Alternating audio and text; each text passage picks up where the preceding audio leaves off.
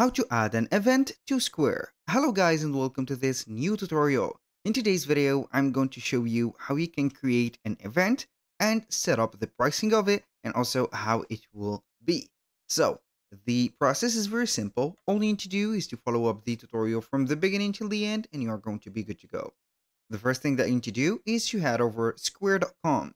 Then you are going simply to sign in into your account the uh, real URL of Square is going to be SquareUp. It is going to be named SquareUp, not only Square.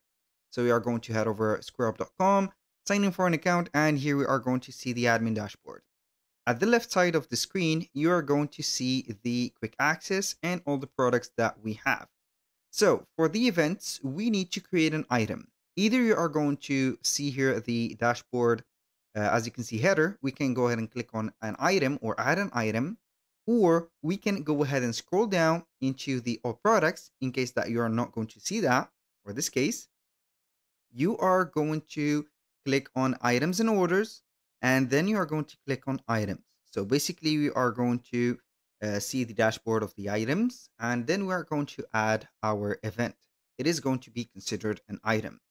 So we are going to click on create item, and then we are going to see the classification. Once you're here, you're going to see the dashboard or the special tab for it. So we are going to change the item type. So we are going to click on change because it is not going to be a physical good. Now we have uh, all the type of items that we can add. From them, we have event. So even if you are going to sell tickets, it is going to be possible. Sell tickets to events and include location address, as well as times. So we are going to organize here the event that you are going to present. You're going to include the location, sell the tickets, and then organize it well. I'm going to click on change. And now we are going to add the name of the event, the description, and if we have some illustrations or images about that event, you're going to put it right there. Generally, you are going to put some posters. So we are going to put the name. I'm going to click or uh, right here, for example, the event is about maybe cheese. So we are going to, to uh, top in here cheese, uh, cheese, big event. For example, description. I'm going to type in here cheese. Forget the AI to generate for me a description. I'm going to put here cheese event. I'm going to put here a long description and also the tone is going to be engaging. So in here, I'm going to only get the help of the AI, but in your case, you are going to put your description, not generate it. I highly not suggest for you to do that, only if you do not have a choice or you do not have a description. So description for this item. So I'm going to ignore that. Basically, uh, the AI did not help. So I'm going to put here, this is a an event, for example, an event that you are going to find and taste a lot of cheese. For example, like that. I think cheese is not like this, but like that. Cheese instead like this. So we are going to put it in here then I'm going to let it as it is. Now, for the poster, I'm going to use Canva. For example, we are going to create a, little poster from Canva. I'm going to put here um, uh, Canva or cheese event poster. Let's see here if we have some suggestion. So basically we are going to wait in here. I'm going to get this, for example, Swiss cheese. So I'm going to select one of the cheese. Uh, as you can see, posters.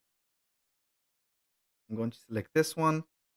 And what are we going to do in the same time? I'm going not to put the poster as it is, but I'm going basically here to create another, um, uh, let's say here, another page for it. So we are going to head over to home. I'm going to click on customize size because I'm going to put a poster that is going to be included in a, a 1280 pixel width with a 720 pixel height. I'm going to create it as a normal poster. So basically, I'm going to copy all the elements in here and paste them right here. So we are going to see the difference. So here the color is set up. I think that the color is going to be not set, but this is better. So we are going to uh, select all the elements. We're going to make them not that big. So basically I'm going to select these, put them in here, make them bigger, just like that. So we are going to have these also like that, just right here. I'm going to put in here the kids, just like that. Boom. We're going to make them a little bit bigger. So we are going to put them just in here. So basically like that. I'm going to put the cheese everywhere. So here, boom, and we are going to put the kid in here. Like that, boom. I'm going to put the, as you can see, the separation in here. Put it like that. Get this in here and put that right away. So I'm going to put the title in here select this, this, and this. I'm going to make it a little bit bigger. Just like that. Boom. I'm going to make this uh, a bit bigger. Is a open day. So we are going to put this also a little bit bigger. So I'm going to align it only in one place. So let's put it in here. Then we are going to put this just like that. Put the line in here zero degree. I do not want an inclination. So I'm going to put it like that. So what I'm going to do here is click on share. Then we are going to click on download and a PNG file. I need a PNG file. So now what I am going to do is to wait for the image to be downloaded. And I'm going to drop the image in here. So basically I'm going to put downloads. This is a, uh, let's say a mandatory thing that we need. So the location, you can go ahead and add a location. The category, you can categorize this event. For example, here, uh, event. I'm going to name it only event. If you do not have uh, some categories, create them. For the event details, it is going to be here in person, of course. The uh, location, I'm going to type in, for example, here, uh, 13 Street, STR, New York, for example and then you are going to type in the country, the street address, for example. I'm going to type in here the apartment suite, for example, just like that, and the state is going to be here uh, used or um, let's say defined by the country that you have chosen. So just like that. So we are going to put the date and time. For example, here I'm going to put the date. Here we have the uh, time, which is going to be here 2 a.m. Uh, I think 2 a.m. is too much, but we are going to rather put it as 2 p.m. This is, I don't know, this is uh, convenient. I think the end date is going to be, the event is going to be lasting three days. So we are going to put it as 12 p.m. Where is it? Here. So now the time zone, you need to uh, precise it.